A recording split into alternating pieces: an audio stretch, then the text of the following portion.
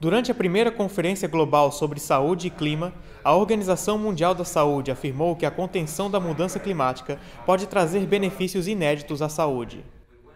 Climate change and health are very strongly related.